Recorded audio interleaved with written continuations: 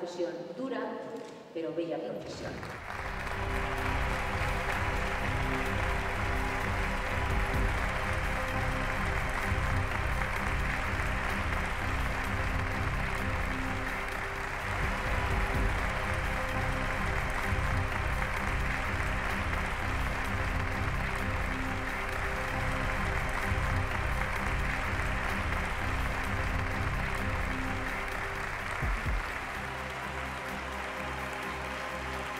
Estos premios sirven también de reconocimiento a todos los profesionales de los medios, por vuestro trabajo diario, responsable y sacrificado, con el que demostráis que dentro de esas eh, evidentes y enormes dificultades actuales, que no podemos desconocer en actos festivos como este, existen, sin embargo, motivos para fortalecer vuestro orgullo y vuestra pasión simplemente por eso, por ser periodistas.